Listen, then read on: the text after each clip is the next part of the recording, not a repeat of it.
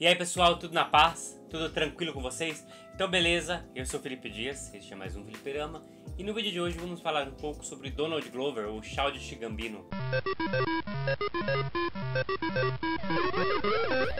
E se este for o primeiro vídeo aqui do canal que você estiver assistindo, se inscreva no botão vermelho aqui embaixo e ative também as notificações para não perder os próximos vídeos, beleza? No dia 10 de fevereiro agora foi ao ar o Grammy da música, que é considerado o Oscar da música, e Donald Glover ganhou quatro prêmios com a canção This Is America. This is America. This is America. This is America. Nas categorias de melhor gravação do ano, melhor canção do ano, melhor performance de rap ou cantada e também melhor videoclipe. E uma curiosidade é que a música This Is America foi o primeiro rap a ganhar nas duas principais categorias, que é a melhor canção do ano e melhor gravação. Donald Glover nasceu no dia 25 de setembro de 1983 em Los Angeles, Califórnia. Ele se formou na New York University em escritas dramáticas. Donald Glover é músico, produtor, compositor, ator, roteirista, DJ e um gênio. E bem antes de estourar com o clipe This Is America, Donald Glover já vinha mostrando todo o seu potencial em obras audiovisuais, tanto seus clipes quanto a série Atlanta, que eu vou falar um pouco mais pra frente. Entre 2008 e 2010, Donald Glover,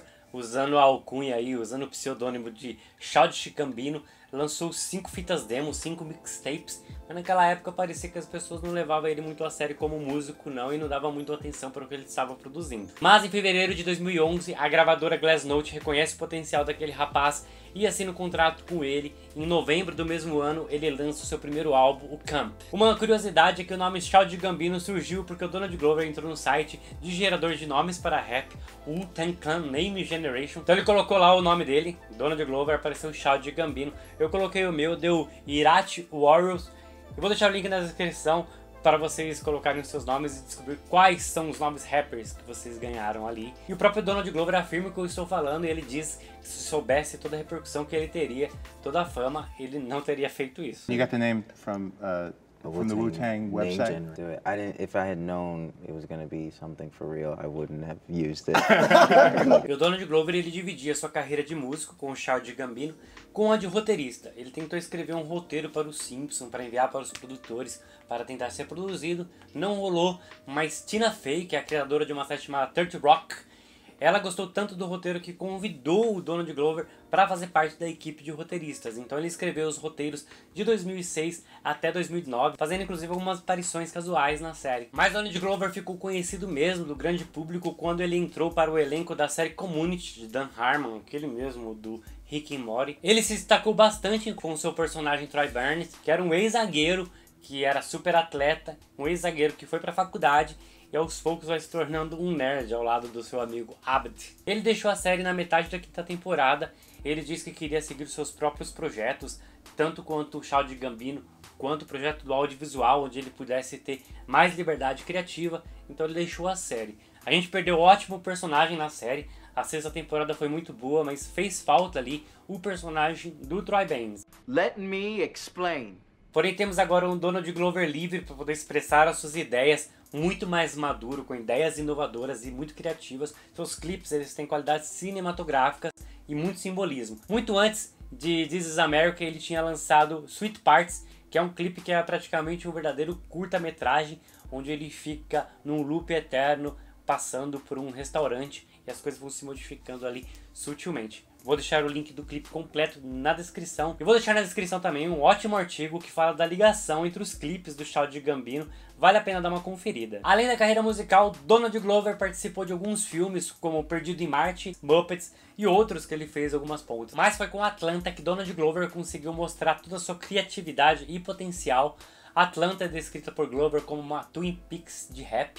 Se você assiste a série Twin Peaks do David Lynch e assiste Atlanta, prestando atenção nos detalhes, vai perceber que foi uma boa definição do Glover. As duas séries são bem malucas. Em Atlanta, Donald Glover interpreta Earn, que abandona o seu trabalho para poder ser agente musical do primo, o Paperboy, que lançou uma música e um clipe de relativo sucesso ali.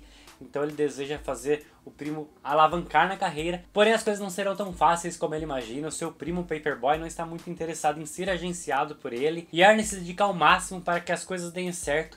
Ele quer demonstrar que é uma pessoa responsável tanto para os seus pais quanto para a mãe da sua filha e a sua própria filha. A série ela não poupa esforços para demonstrar a realidade nua e crua do preconceito velado, do racismo escondido numa piada, num olhar, num gesto. Sabe o clipe de America e toda a simbologia e significado que ele traz? A série Atlanta dessa maneira, cheia de nuances, simbologias, detalhes que não podem passar desapercebidos. A série ela é exibida pelo canal FX, já tem duas temporadas, uma terceira temporada foi confirmada, mas ainda não sabemos a data de lançamento, pois o Donald Glover está com alguns problemas pessoais e a data de lançamento foi adiada por enquanto. Pelo menos dois episódios da série merecem destaque aqui. O primeiro deles é o Ban, da primeira temporada, o sétimo episódio, onde o Paperboy está num talk show, dando uma entrevista com algumas perguntas constrangedoras, inclusive. E alguns quadros desse programa de TV são apresentados, são quadros incrivelmente inteligentes, cheios de críticas e nuances. Vale a pena vocês darem uma olhada, esse tipo de episódio é raro na televisão. E outro episódio é o sexto da segunda temporada, chamado Ted Pierce, onde Daryl vai numa mansão buscar um piano que lhe foi oferecido e chegando lá tem um cara esquisitão, um milionário, chamado Ted Pierce. Ele aqui, ó, esse personagem foi interpretado pelo Donald Glover, que escreveu também esse episódio. Esse episódio é interessante devido à atuação do Donald Glover, o roteiro e toda a crítica que ele faz. Esse episódio é muito bom, vocês precisam assistir para entender o que eu tô querendo dizer. Mas foi com This is America que Donald Glover alcançou o reconhecimento merecido, principalmente aqui no Brasil. Também não era para menos, o clipe tá cheio de simbologia, como eu já falei antes. Existem vários vídeos e vários textos na internet esmiuçando frame por frame desse vídeo eu ainda acho que nem todos os significados foram encontrados. E depois de This America, ele lançou um outro clipe tão incrível quanto para a música Feel Like Summer, onde ele caminha pelos subúrbios dos Estados Unidos em forma de desenho animado. E conforme ele faz o percurso, podemos ver várias personalidades da música negra americana. Encontramos ali Whitney Houston, Beyoncé, a Michael Jackson. O legal de ver esse clipe é tentar reencontrar ali todas as pessoas que a gente conhece, todas as personalidades da música que estão no clipe. São muitas, também vale a pena conferir. Em 2018, Donald Glover teve um papel de destaque no cinema no filme do Han Solo com o personagem Lando Calrissian.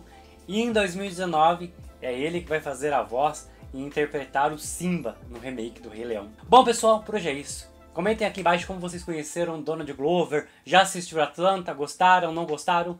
Deixe a opinião de vocês aqui nos comentários, beleza? Espero que vocês tenham gostado. Se vocês gostaram, deixe aquele like bacana, compartilhe também esse vídeo nas redes sociais, que ajuda bastante o canal. Então é isso, muito obrigado e até a próxima.